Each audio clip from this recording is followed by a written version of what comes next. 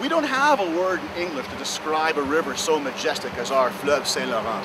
Our legacy, our heritage, our privilege, our right. Would you believe Westmount Ville Marie that this river is receiving 50 liters of PCBs leaching into it every single day and the Conservative government refuses to act?